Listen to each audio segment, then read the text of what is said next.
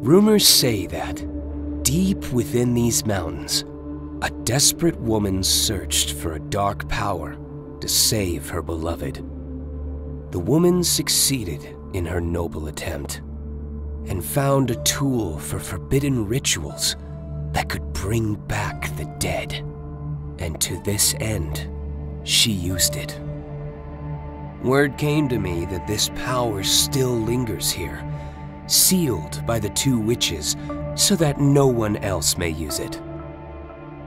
That's exactly why I came. Now that the crypt stands before me at last, no one will stop me from claiming that power.